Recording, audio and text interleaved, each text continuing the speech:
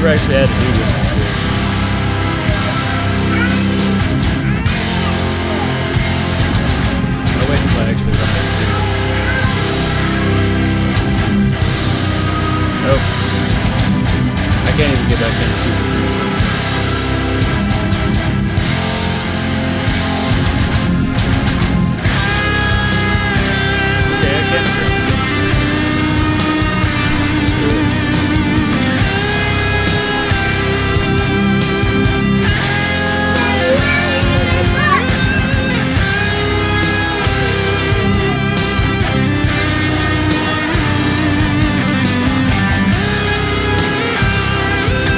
Of cinematic.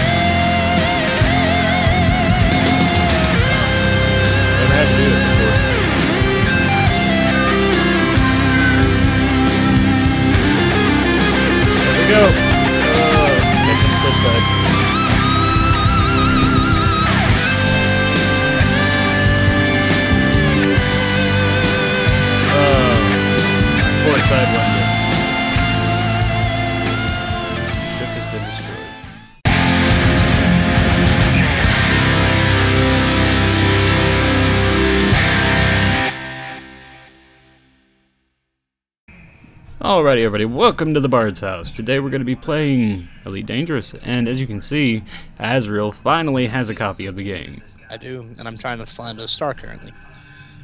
He hasn't quite gotten used to controlling the game with a uh, joypad yet. Joypad, that's just weird. That's what they're called when it comes to PCs. Anyway, uh, as you can see, um, well, probably in the opening montage, well, not really montage, I had to blow up my Sidewinder because I ran out of fuel. So, as a consolation to that, I went out and bought a, uh, what is this called? A, an adder. Yep. He's got a better ship now, and it's it's serving him well. Oh, yes, very well. I still have the weak Sidewinder, but but my Sidewinder's doing me pretty well though. Don't worry. If you keep exploring, you'll make the credits in no time. Adders are pretty freaking awesome, especially compared to the Sidewinder starting out. And even the Eagle that I bought just wasn't cutting it. It didn't have enough internal modules. This is much better. It wasn't the, the ship for him. No, no. I, I'm I'm not a fighter. And small Well- little fighter ships like that. Even though this one has some pretty impressive combat capability. And I've actually had to put it to use a couple of times. Yeah, he's actually claimed two bounties now. Oh yeah, one for 30,000, one for 24,000. And that's using my HOTAS. Damn it. Fuck, dude.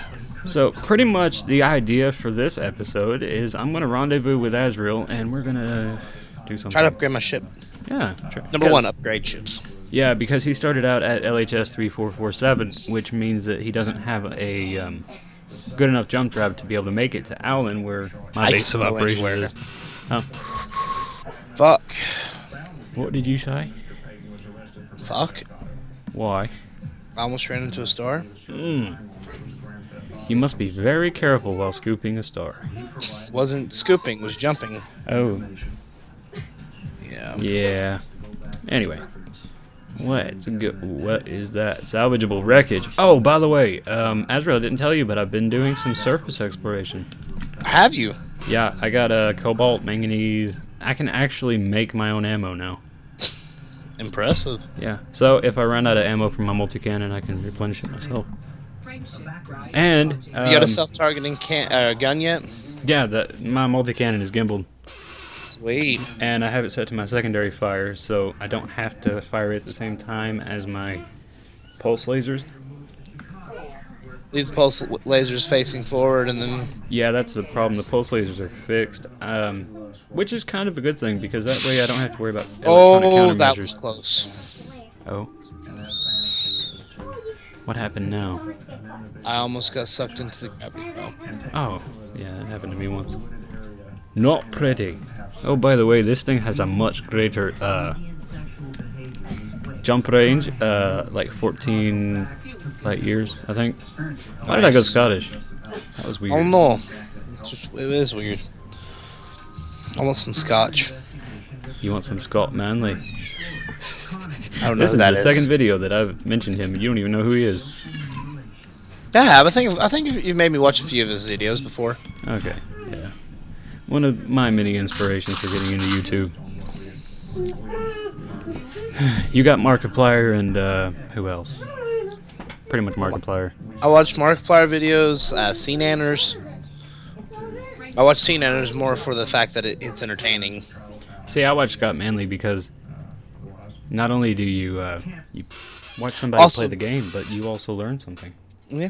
PBS channel. Oh yeah, PBS Digital Studios. Yeah. I love their learning channel. Right, right. It, it's like the best channel to learn something on. We have seriously gone off the rails. Well, I'm, I'm Anyway, yeah, it's I'm it takes so long to go anywhere right now for me. binary system. Well, that's why you're exploring stuff. That's why I'm exploring stuff. By the time I get to LHS 3447, I should have enough discovery data to buy a new uh, power plant. I'm hoping from where I where I died that time, I can recover the majority of data that I lost. Uh, I'm three jumps out from LHS. How far are you? A while. Mm. Well, since this is a binary system, I might as well discover both of them. Dad, you know how to spell minigame? And he was like looking for exactly what are in one of the back alleys. Alright, let's see here. Wow, okay. This is weird. Watching the shark. I hate binary systems. And I have more jumps. Nice. Dude, one time I jumped into a system and it was a, a regular red star, and it was being orbited by a white dwarf and a red dwarf. That's cool. Yeah, so you had a red dwarf, a white dwarf, and a brown dwarf all in one. Didn't you fuel scoop from that one? I tried. I don't remember if it worked or not. I think that was like the only time you managed to get like a crap ton at once. Well, yeah, well, no, no, that was a trinary red system. All three red dwarves. We're right close together. Yeah, they were close enough that their uh, fuel scoop chromospheres like intersected, or at least it seemed like they did. I don't know if they actually did or not. Um, I've hit my half fuel limit now. Nice. Hopefully, the fact that my first three jumps were all uh, red stars. Yeah. Red stars, I can I can scoop from, right? Yep. Red and white, and some blue ones, but not white dwarfs. We'll see you after the jump. Are you jumping right now? Yep. Oh, Coming out now. how'd you know? Oh, Oh shit. shit.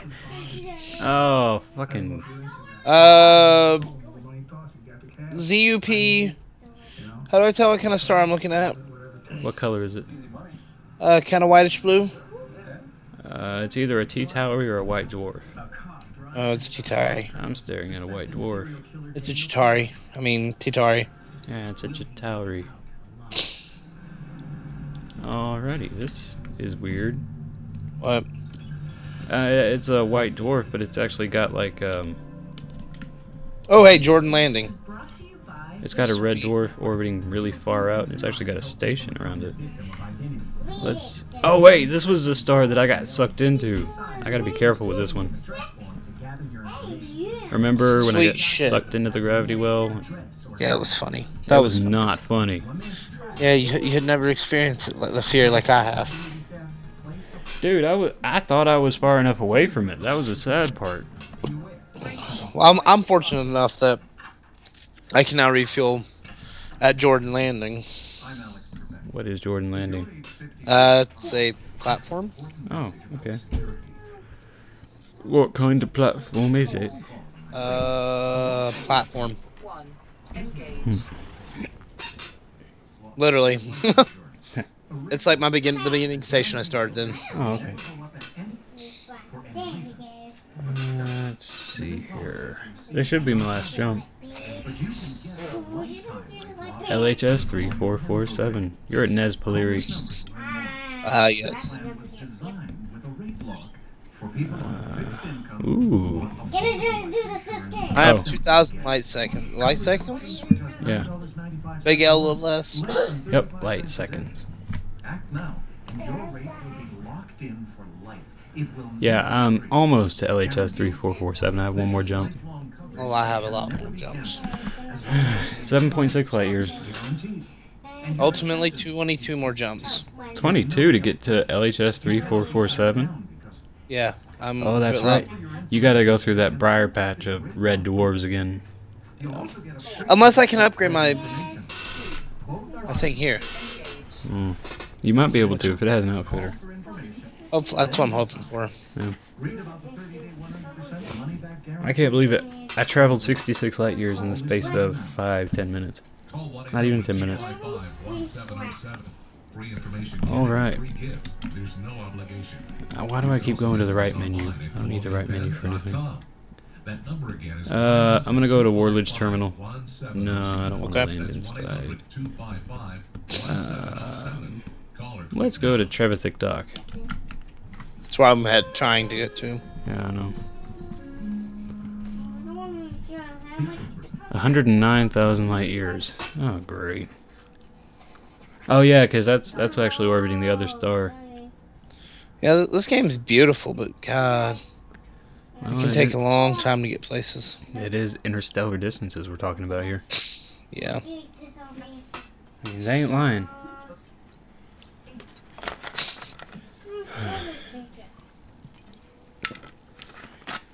I mean, that is literally 109,000 times the distance between the Earth and the Moon. But it's so pretty. Oh, I ain't gonna lie. You know the the background stars change depending on where you are in the galaxy, right? Really. Yeah. Ow! Actually, no, no, I did not. Obviously. Yeah, the closer you get to the core, the brighter it gets. Yeah, someone I know from where I work, they have they, they have this game. and They're heading towards the center of the universe. Are they part of the expedition? I have no idea. Well, there's a an expedition going on right now, like the Distant Worlds expedition. It's like 900 people heading towards the center of the galaxy. I don't know if it's just what he wants to do or what. I thought about it. Like once I get a Asp Explorer, I'm probably gonna try and do it. Uh, he has a Diamondback. Diamondback Scout. I think so. Yeah. Eh, That ain't too much money. I might be able to afford one. I don't know. I mean, I only have 31,000 credits right now. yeah right now you're broke. Hey, as long as I have enough credits to pay for my insurance, I'm good. Yeah. Or pay for my rebuy cost if I die.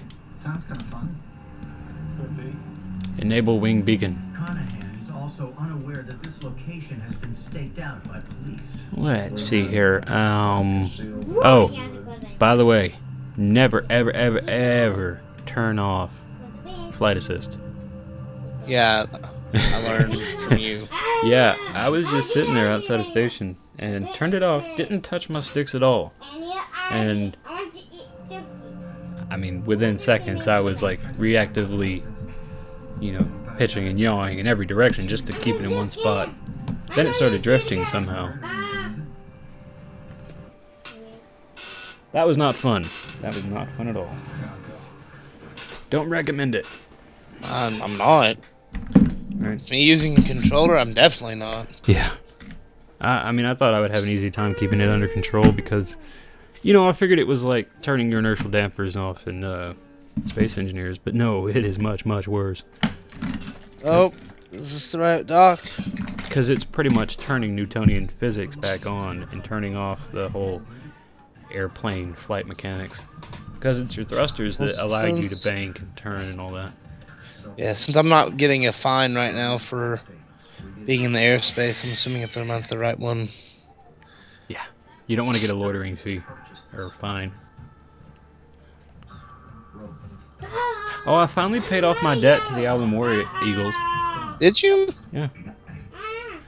I was at uh, Allen Enterprise selling my Eagle, and I was like, okay, might as well pay it off. Yes, I did sell my Eagle, I know you did.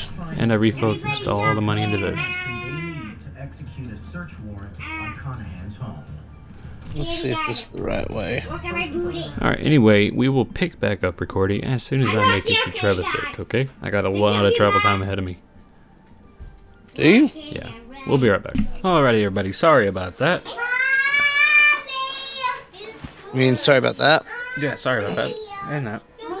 We have finally made it to Trevor Thick Talk. You have, I haven't. Oh, yeah, I have. I can't say much about what you're doing, but I'm Well, I'm just trying to get there faster, and it's not working right. Watch, I'm gonna overshoot it. Crap, I'm gonna overshoot it. Huh, like normal. Uh, I was doing good there for a bit. Where are you? Uh, oh crap, let's hope I don't hit it. Hmm. Almost hit it. That would not have been good. No, it would not have been. Alright. My hands are just sticking out. Yeah, I could have made it there, and then. The, Oh, um. next jump destination it is to then. It's just floating in the air. Damn it. I'm gonna just get you.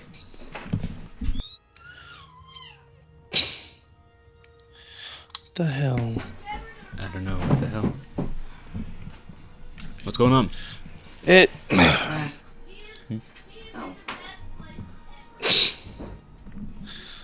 I keep messing up. How dare you? I know, right? Alright.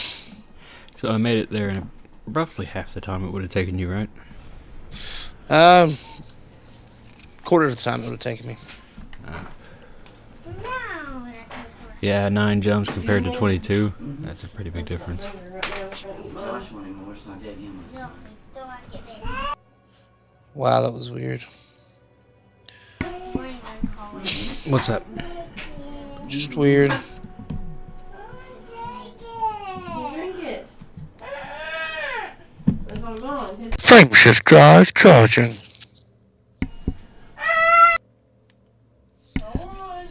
Are you mad? I'm hungry. I don't know what you were recording. It's rude to our viewers. They hear me all gobbling food. Want the rest of? Do it? Um, they hear me gobbling food like om nom nom nom nom. Okay. Little man. Wait, okay. Docking request denied.